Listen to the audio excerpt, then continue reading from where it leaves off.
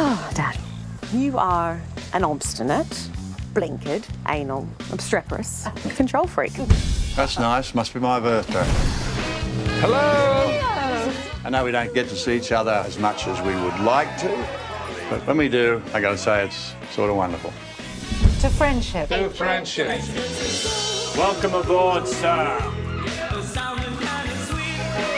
You've done well, Frank. Real shame about that chimney. Just a tiny blip on paradise. Our agreement. I've rethought, Lottie. What? Just hear me out. We resolved it 20 years ago. We made a pact, Leo. I'm not who I was. Just be who you were. I've been approached to play a grandmother. Oh, no. 60's the new 40, you know. Yeah, sure. From behind and in the dark.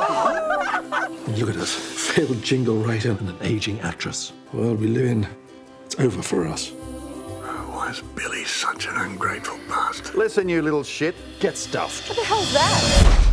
Frank! What are you doing, Frank? I hate you! No, you don't. Why'd you come? We're here to celebrate the rational, Mature. mature, wise old bloke you've become. Ah!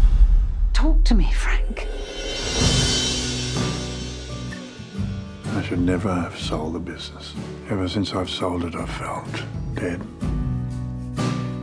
At least you have other things. Never wanted kids. Now I look at yours. You have bloody great kids, Frank. All those years he was married to his bloody business. Oh, got better. It was much more than just a fling, What are you?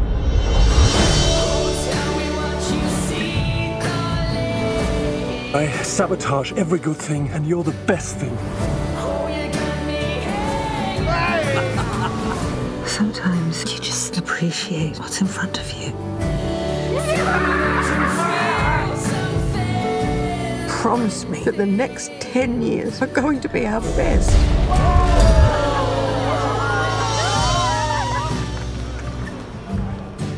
You're so lucky.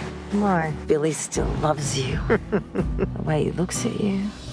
No, he's just too vain to wear his glasses. All he sees is a blur. Ha ha ha ha!